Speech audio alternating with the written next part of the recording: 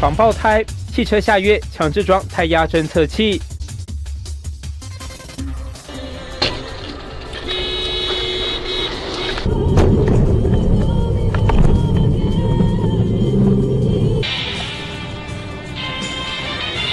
因国道爆胎或落轮事故，近五年来已造成两千多件事故，近千人死伤。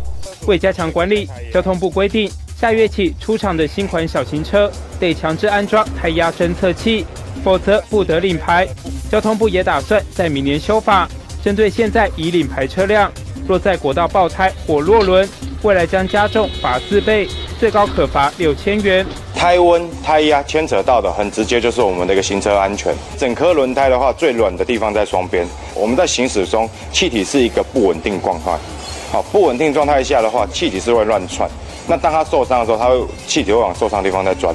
那它钻出来，就是我们想要爆胎。那你觉得这样子的政策的话是好还是坏？当然好，现在会雇车的人太少。对不对？他有些人没有胎，事实上胎压不足，他也上路了。我觉得是行车必备，因为安全上这是非常重要的考量。宋新闻台北报道。